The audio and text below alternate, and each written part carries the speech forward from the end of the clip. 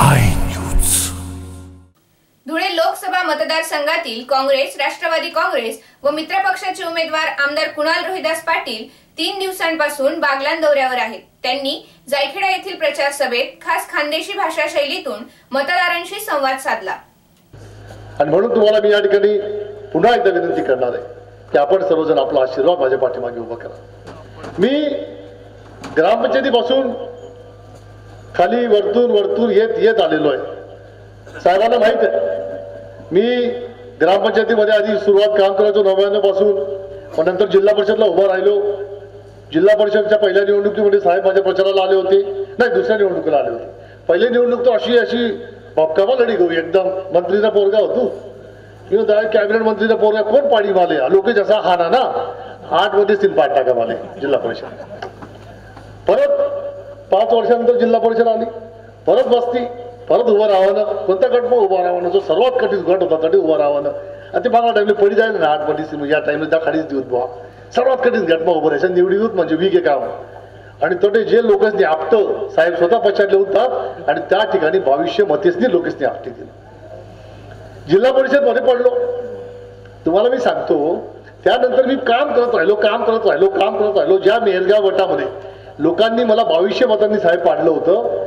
त्या जिल्हा परिषद गटामध्ये मागच्या विधानसभेच्या निवडणुकीमध्ये एवढी मोठी मोदीची लाट असताना सुद्धा त्या गटामध्ये लोकांनी मला साडेचार हजाराचा लीड विधानसभेच्या निवडणुकीमध्ये एवढ्या मोठ्या मोदी लाटेमध्ये लोकांनी मला अठ्ठेचाळीस हजार मतांनी निवडून दिलं. आज उत्तर महाराष्ट्रामध्ये सर्वात जास्त मतांनी निवडून येणारा आमदार म्हणून लोकांनी माझा त्या ठिकाणी गौरव केला अशी परिस्थिती.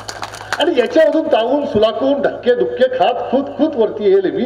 मला माहिती आहे ग्रामपंचायत कशी चालस. हो येतीन दादा इथला कामे कर राहिना हो कोठे कोठे पाय पडस कोठे कोठे दागडं घालस आणि मग दिदीला येस ते आपला आमदार साहेब कोठे कोठे दांगडं करतस हे सगळं मला माहिती आहे पण आता जो खासदार आपण मागला टाईमला निवडीची ना या भाऊले काही घंटा माहिती काहीच माहिती होतं नाही यार याले. हो कधी ग्रामपंचायत लढेल नाही. हो कधी जिल्हा परिषद लढेल नाही. याला महापालिका कशी चालत माहीत नाही. याला नगरसेवक कोठे निधी दिलंय तेच माहीत नाही. काहीच माहीत नाही. आणि डायरेक्ट उभं राही घ्या मोदींनी लाट होती. लाट लाट लाट लाट मग निवडी घ्या. निवडी घ्या मंत्री घ्या. याला अशी वाटणं याने जॅकेट घालली ना याला अशी वाटत मी मंत्री जायला. ते काही नाही ते म्हणा विके काम. अरे भाऊ अशी नाही होल काम त्याला आता राबणं पडत लोकेसमा जाणं पडत. किंवा गावमा लोकेश बरोबर संवाद करणं पडत समजी देणं पडत. असं काहीच काम या माणसाने केलं आणि या माणसाने अनुभव शून्य हा माणूस त्या ठिकाणी जाऊन बसला. आणि पाच वर्ष या मतदारसंघाचे खरंच वाया घालवले. अत्यंत दुर्दैवी अशी आपली ही पाच वर्ष गेलेले आहेत. त्यानं नाव का पण काढ असतो आठ या? परंतु काय झालं की जाऊ दे त्याला बद्दल न बोलेल पण. पण आपल्याला असं काम करायचं नाही. मागच्या पाच वर्षामध्ये जी काही आपली अडचणी झाल्या जे काही आपल्या नुकसान झालेलं आहे हे नुकसान येणाऱ्या काळामध्ये तुम्हाला आणि आपल्याला भरून काढायचं आहे. पुढच्या पाच वर्षामध्ये एवढं काम करून दाखवायचं आहे. की मागचे पाच वर्षाचा विसर पडून जायला पाहिजे.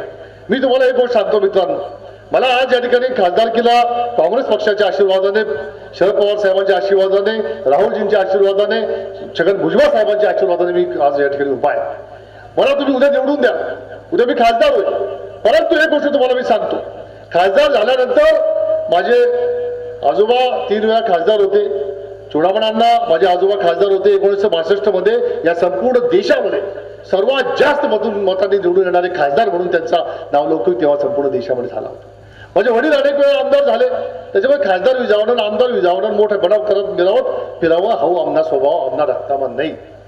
मला एक गोष्ट करायची जर मी खासदार झालो तर पुढचे पाच वर्ष दिवस रात्र मेहनत करून एवढं काम करून दाखवायचं आहे की ह्या लोकसभा मतदारसंघातील ह्या बागलांमधील ह्या सटाण्यामधील या जायखान्यामधील माणसाने म्हटलं पाहिजे. नाही गो पोरगा काही का म्हणून? आपण निवडी जिथं पण त्यांनी पाच वर्ष चीज कर काम करीला काय असं काम जर निघालं त्या खासदारकीला काही किंमत आहे. बाकी याला काही किंमत नाही तुम्हाला सांगतो आज सुद्धा जर लोक तुम्हाला म्हणत असतील की हा नालायक माणूस आहे हा निष्काम माणूस आहे हा काही कामाचा माणूस नाही त्या खासदारकीला काही किंमत नाही. मोदी लाटेवरती निवडून यायचं आणि स्वतःचं नाव खराब करून घ्यायचं. आणि आता तर परवा परवा तो गिरीश महाजन धुळ्याला आला होता. आणि धुळ्याला येऊन गिरीश महाजन धन ठपटून सांगून गेला. म्हणे म्हणे शेवटचे आठ दिवस माझे आहेत म्हणे. चोवीस तारीखला जळगावचं मतदान होऊन गेलं की मी धुळ्यामध्ये येऊन बसणार आहे म्हणे.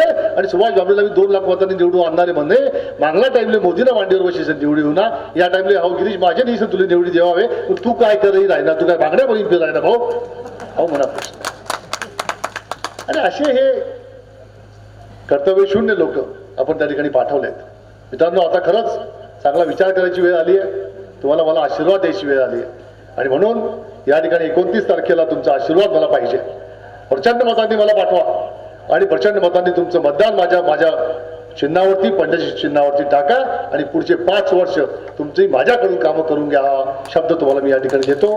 अत्यंत चांगलं काम या ठिकाणी आपले आमदार साहेब चव्हाण साहेब आणि यतीन दादा आणि या सर्व टीम आणि सर्व काँग्रेसची मंडळी या ठिकाणी करते आणि ह्या सर्वांच्या मेहनतीमध्ये या सर्वांच्या ताकदीला कुठेतरी केंद्राची ताकद त्या ठिकाणी जॉईन झाली पाहिजे मिळाली पाहिजे. आणि म्हणून माझी खासदारकी अत्यंत महत्वाची आहे.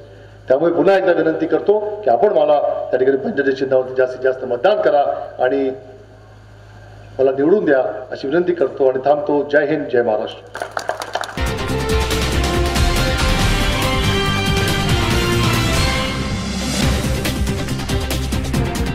I